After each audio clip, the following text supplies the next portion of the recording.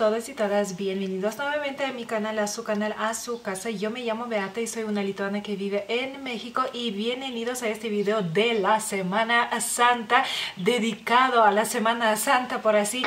decirlo. Lo estuve, o sea, estuve esperando a que llegara, digamos que esta semana para contarles un poquito más sobre cómo es la Semana Santa en Lituania, cuáles son las diferencias que yo como lituana veo, aunque digo, como siempre o casi siempre trato de decirles que todo lo que yo les cuento es como muy en general porque cada familia obviamente puede tener sus tradiciones ah, propias, pero para que se hagan como más o menos... Mm, pues una idea, digamos así, cómo, uh, cómo sería o cómo es la Semana Santa en Lituania por si pues les toca pasarla, no sé, el próximo año, porque este año obviamente ya no, pues uh, quédense a ver este video.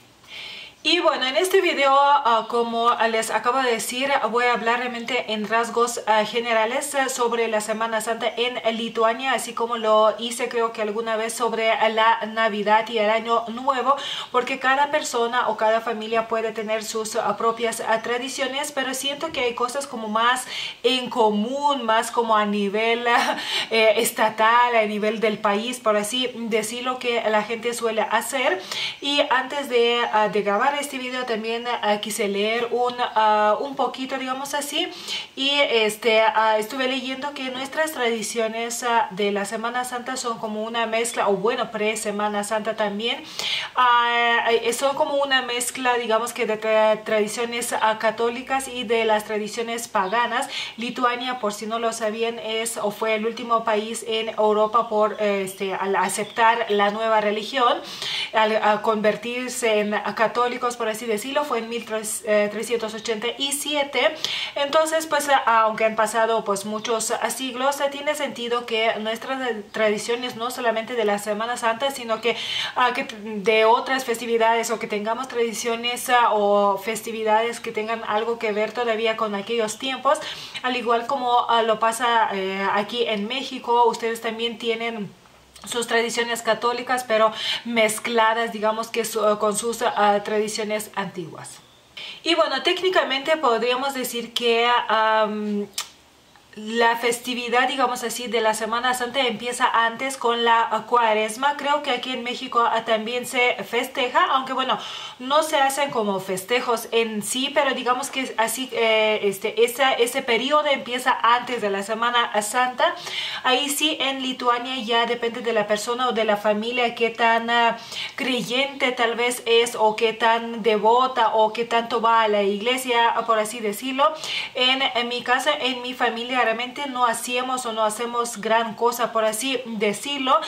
sé que en Lituania también existe el miércoles de ceniza y ah, luego hay gente que va justo ese, ah, ese día a, la iglesia, a misa, digamos así, pero digo, eso es como más, siento es como más individual, depende de cada persona, de cada familia. Ah, lo que sí es mucho más importante es la Semana Santa en sí, bueno, digamos que ciertos días de la Semana Santa en Lituania, que es el domingo de Ramos o en, uh, en lituano se llama verbų sekmadienis. Uh, verba es pues el ramo, digamos así, o los ramos que se hacen en Lituania, que son muy, muy bonitos, se hacen de plantas secas y los hacen realmente, hay más sencillos, hay más bonitos y, y la gente que los hace con mucho detalle, con muchas flores de colores, realmente hacen ramos hermosos. No he visto ramos así de bonitos aquí en México y esta es una de las diferencias que yo considero que eh, existen entre Lituania y ah, México, que son los ramos y el domingo de ramos como tal. Para los lituanos de la Semana Santa en sí, ah, el primer día importante es ah, justo el domingo de ah, Ramos, que es el mismo domingo como aquí, al igual que el domingo de, de Pascua, digamos, aquí en México. O sea, todo es la misma semana, o sea, las fechas coinciden, no es que sean otras fechas, no más que el enfoque aquí en México siento que es más para el jueves y el viernes de la Semana Santa, incluso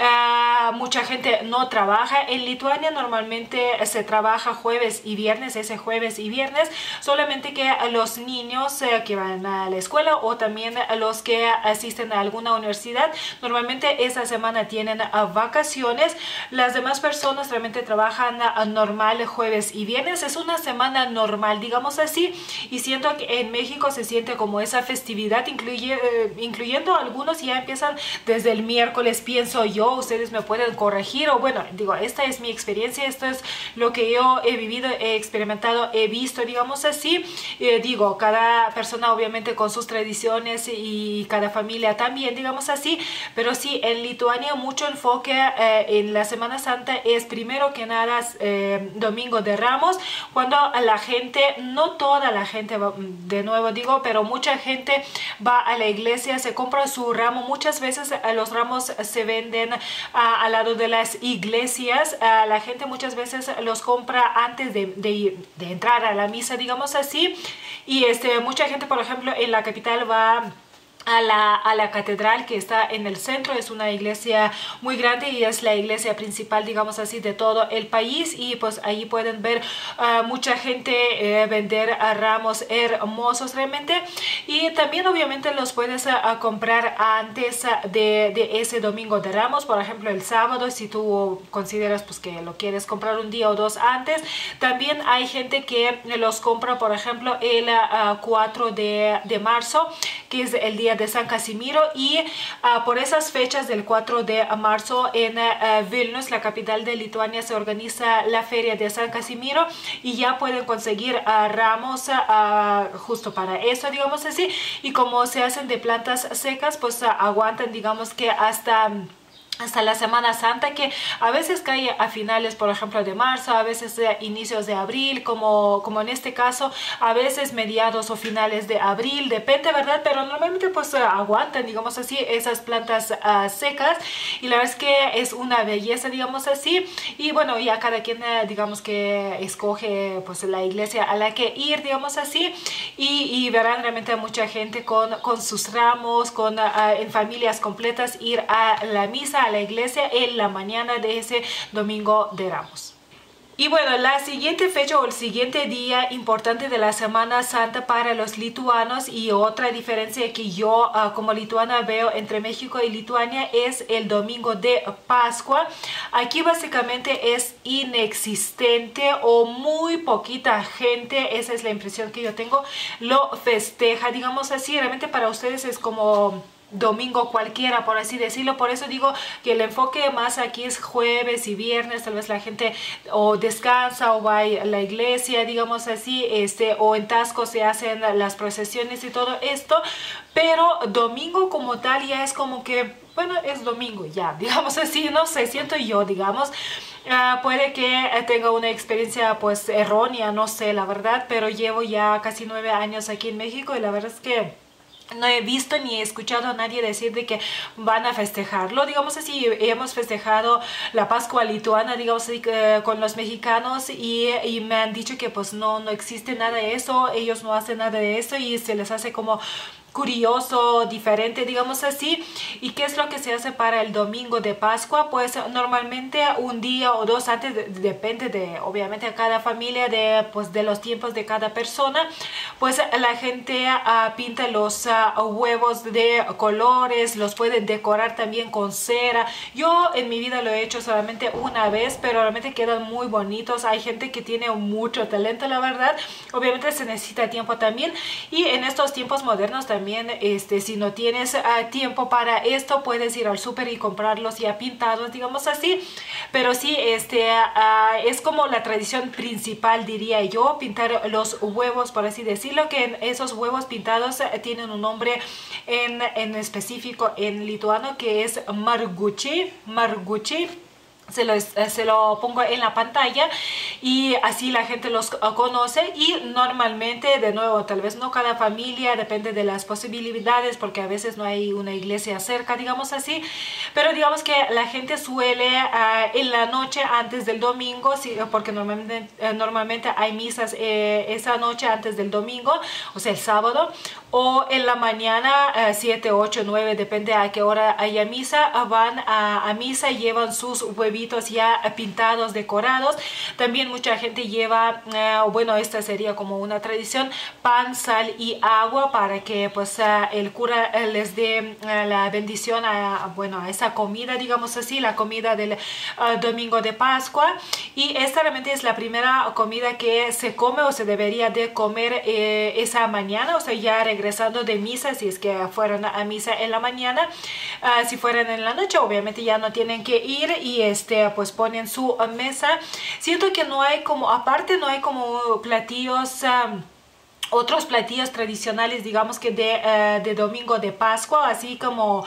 los que tenemos que en, uh, digamos que en Navidad tenemos muchos platillos tradicionales. El domingo de Pascua básicamente lo más importante es tener huevos pintados, por así decirlo, y es lo primero que comes, pan, con, pan, sal, tomas agua y comes huevo, y ya cada familia yo pienso que decide pues qué otra cosa va a querer desayunar. Finalmente es un desayuno, no tiene que ser 15 platillos ahí, estar en la mesa, digamos así, pero obviamente ya cada familia puede decidir qué, qué más va a querer desayunar, tal vez uh, alguna uh, panecillo, este, con café, con té, tal vez alguna empanada, bueno, ya cada quien decida, ¿no? Ensalada, tal vez, pero sí, lo más importante realmente son los huevos decorados y pues digo, pan, sal y agua. Considero que también son eh, importantes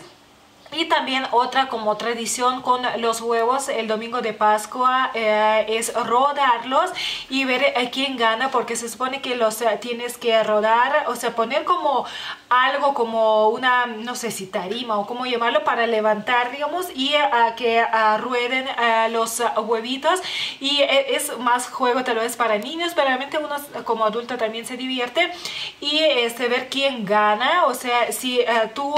huevo pega con el huevo de, otro niño o de otra persona, pues eh, ya te llevas el tuyo y el de esa persona. Si no, pues a quien le toca digamos que rodar y así vas jugando obviamente lo más divertido es uh, pues que haya muchos huevos o sea cuando hay muchos huevos digamos así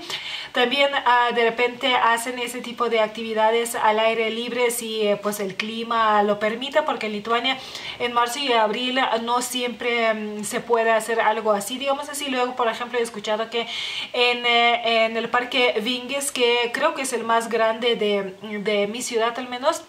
este, de repente uh, organiza, o sea, la ciudad, digamos así, la, el municipio, uh, esas actividades para los niños, para que los papás los lleven ahí. Y hay este conejito también de la Pascua, de repente, digamos así, aunque en Lituania realmente uh, conejo tal vez no sea, o sea, como una tradición muy vieja. Mm, yo pienso que la tradición más como antigua es la, la viejita, la abuelita de la Pascua, que algunos pues tienen esa tradición, la mantienen, digamos así, ah, pero el conejito también de repente aparece, digamos así, y da dulces o algo así, o huevos, digamos así. También ah, la gente suele, por ejemplo, ya al día siguiente, ya que en Lituania el lunes también es lunes de Pascua, entonces al día siguiente si van a visitar a alguien, pues llevan sus huevitos, digamos así, y se traen los huevitos de, de esa otra familia o de esa otra ah, persona como un intercambio, como si fuera Navidad o sea, de intercambio de regalos, pues también puede ser uh, intercambio de... Uh, de huevos pintados, de huevos uh, decorados y así pues básicamente estas como son yo diría que de las tradiciones principales de la Pascua. Y bueno, antes de terminar este video eh, con, con, otra cosa uh, más, se me olvidó decirles uh, cómo se dice Domingo de Pascua en Lituania. Normalmente no, nomás decimos Pascua, que es Velicos, Velicos. También pueden escuchar obviamente a la gente decir, o bueno, escrito por ahí, ver tal vez uh, Velicus Akmadenes, Velicus Akmadenes, por ejemplo, este misa del Domingo de Pascua, Sakmadenes es domingo, así que bueno, se lo pongo también. Y bueno, por último, última ah, cosa importante, pero no necesariamente toda la gente lo festeja, pero se lo quiero mencionar, es ah, otra festividad que es el domingo siguiente de, después del domingo de Pascua, o sea, una semana después, como aquí dicen ocho días después, para mí son siete días, pero bueno, este es mm, Atvelikis, Atvelikis, y la verdad es que no sabía cómo se llamaba en español, pero encontré que eh, dice Quasimodo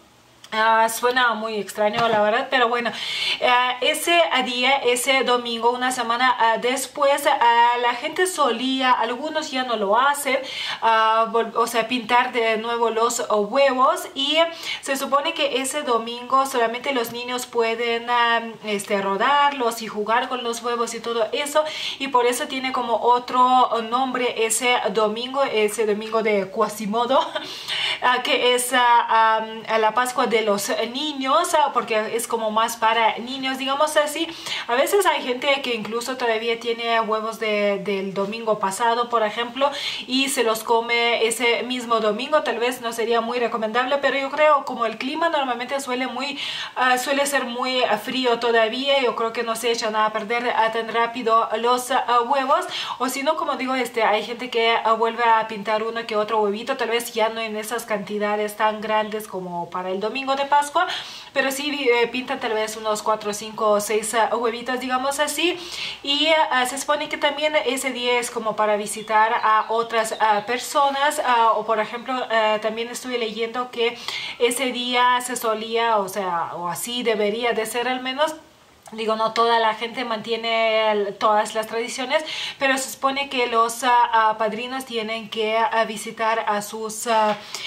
sus ahijados ese día y por eso también es como otra de las razones por qué ese día no solamente se llama Atvelikis o Quasimodo en Lituania, sino que también se eh, dice o se llama eh, la Pascua, o bueno, el domingo de Pascua de niños. Y pues nada, hasta aquí este video sobre la Semana Santa en Lituania, sobre las cosas, considero que de las cosas más importantes, digamos así, en cuanto a esta festividad en Lituania. Como pueden ver, realmente yo siento que es bastante diferente a como es en eh, Lituania, eh, en, México, perdonen. Si ustedes son de Ecuador, Argentina, Venezuela, Colombia, me pueden contar en los comentarios cómo son las tradiciones en sus países, de España tal vez, ah, también porque sé que hay gente de España que me ve. Me gustaría saber uh, si uh, sus tradiciones son, más parecidas a las nuestras, las lituanas, o más parecidas a las uh, mexicanas y todo en los comentarios. Y nada, si este video les gustó, por favor denle me gusta, compártanlo con las personas que estén buscando información sobre mi país natal, Lituania, sobre las tradiciones de la Pascua